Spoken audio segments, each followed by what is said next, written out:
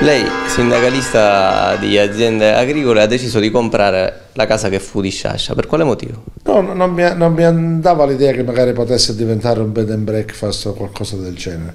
Non, non, non, non che sia scandalosa la, eh, la, cosa, però credo che sia più, conservare la memoria. più giusto che, che, questa casa conservi la memoria di Sciascia. Questo è il piano dove Sciascia ha abitato, soprattutto dopo che si è sposato. In questa casa ha abitato fino al 2012 una signora che era, per quanto coetanea di, di Sciascia, era la zia.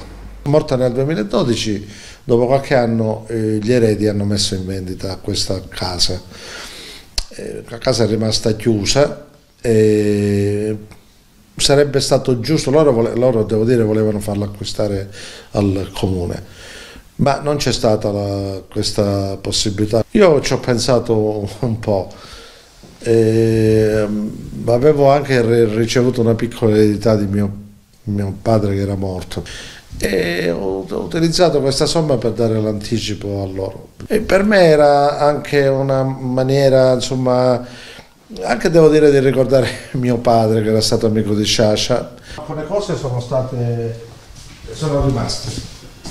In questa casa sono qua dagli anni, dagli anni 40, le cose più vecchie sono proprio del 35. Alcune cose probabilmente lui se le ha procurate negli anni eh, gli servivano come materiale di studio, cioè riviste di teatro, riviste di, di letteratura, ma anche riviste di cinema eh, anche riviste politiche come Rinascita, eh, che lui ha anche sottolineato. Quanti libri ha portato? No, finora pochi, finora saranno 2-3 mila, ci sono una, una, parte di cose che riguardano Sciascia, eh, di Sciascia su Sciascia e, e, di autori siciliani. Qui chi viene a visitare a Casa Museo? Ma io credo che da, da settembre ad ora sono venute, penso, un 3.000 persone.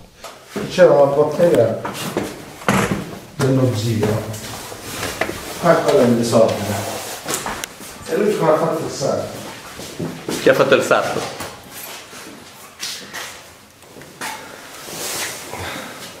Qual era il rapporto di Sciascia con il suo paese, Ragalmuto?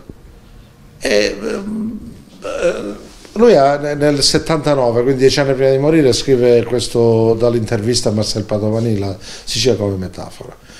Tra le, tra, le, cose che lui sottolinea è il fatto che eh, eh preferisco vivere nel mio paese. Ma come pavese un paese ci vuole.